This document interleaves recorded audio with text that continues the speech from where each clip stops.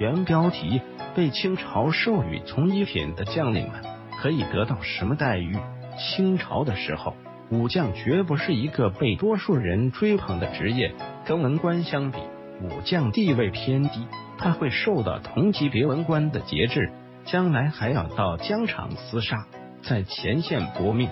但是跟文官的科举相比，考取武将总是更容易些，而且朝廷对武将的待遇也不差，毕竟需要依靠他们维持军队的战斗力。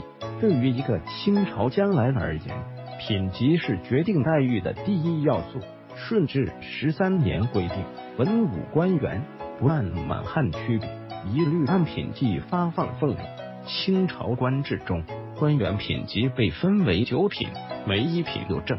从两个级别，从一品官阶在清朝官制中位列第二，仅次于正一品。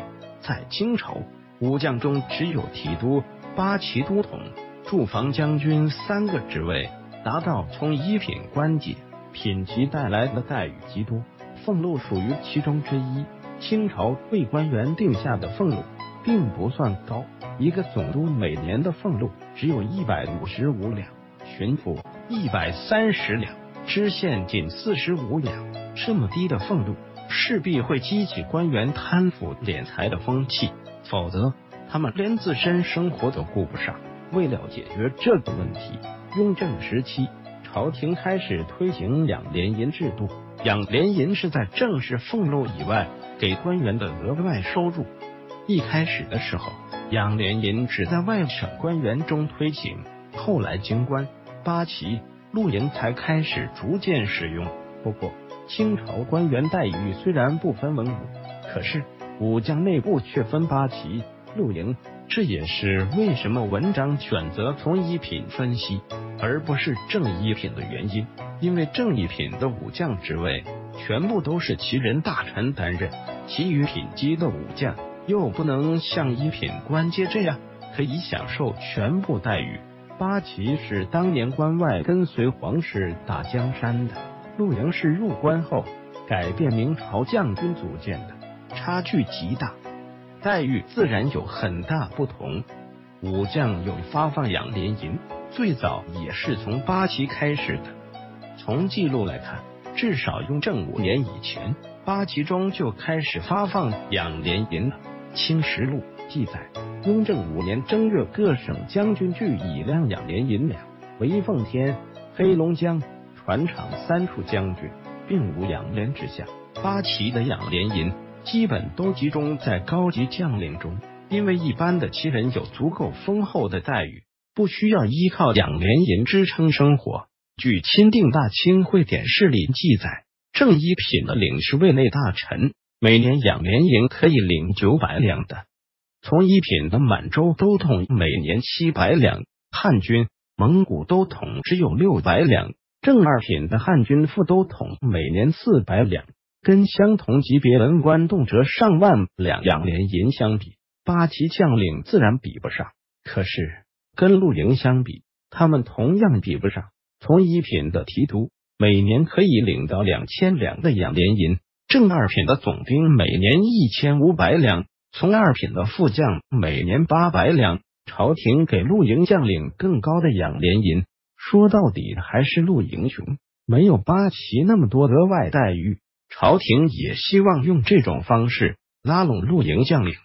这也是为什么陆营士兵曾多次因为欠军饷闹事。可是将领始终跟朝廷站在一边，在养廉银以外的品级待遇，如工费、住房，其实差别有限。